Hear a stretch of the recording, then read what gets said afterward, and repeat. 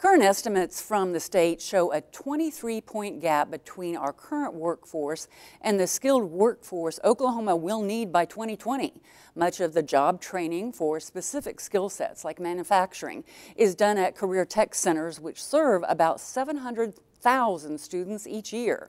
But for six years, Career Tech has had its appropriations whittled away due to state budget cuts. The agency is now once again looking at ways to do more with less. Yes, sir. You're doing how are you? I'm all right. This job fair at Tulsa Tech is one of several scheduled by Governor Mary Fallin as part of her Oklahoma Works initiative. The initiative seeks to support public and private efforts to give Oklahomans the work skills and education needed to get good paying, fulfilling jobs. One of my strongest selling points for the state of Oklahoma is that we do have a very specific goal of raising our work skills and our education level in our state. And four years ago, I launched a program called Complete College America, which is not only college degrees but also workforce certificates from our career tech systems.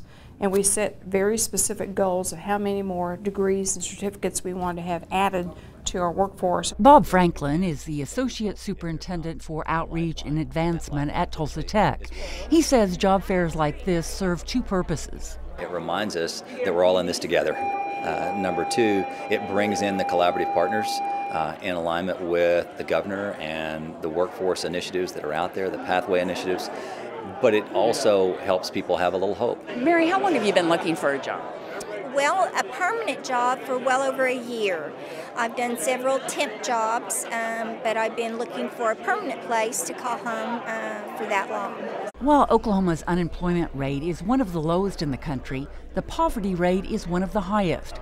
Gene Perry, an analyst with the Oklahoma Policy Institute, explains the disparity this way. There's a very large percentage of minimum wage jobs or near minimum wage jobs. Um, even people are working, many of them living in poverty or near poverty. And so, you know, you can say we have low unemployment, but what Oklahomans really need is good jobs, well-paying jobs. And to get there, we got to have that workforce training. We got to have education.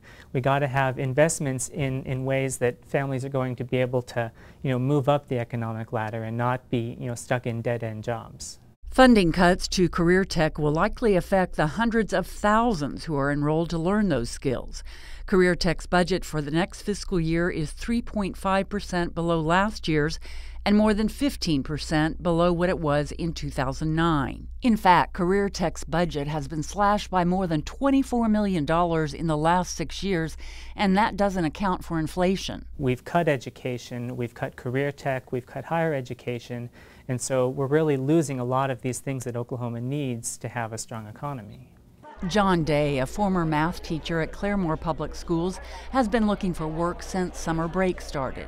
My contract was not renewed due to budget cuts this last year, uh, so uh, I would prefer to have an education job, but you can't really count on that under the present circumstances.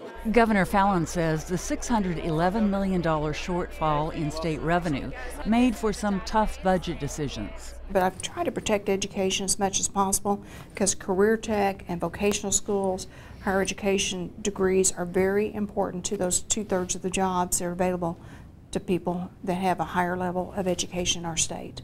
Career Tech must now make critical budget decisions of its own. Dr. Marcie Mack is the state director.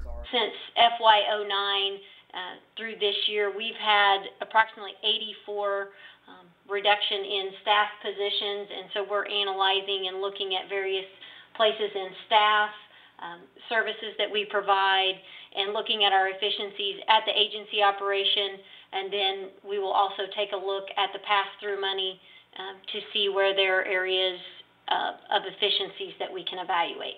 Franklin says Oklahoma can't expect to have a qualified workforce if we aren't funding education. It's getting to a crisis point that we have to stand in the way as voters and we have to make some significant decisions about how we resource these common efforts to build our communities and to sustain economic viability. If not, other states will compete and, and beat us to the punch.